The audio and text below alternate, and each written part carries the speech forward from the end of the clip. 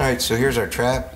Here's the stop point on the inside of a trap on the hub where the pipe's going to bottom out at.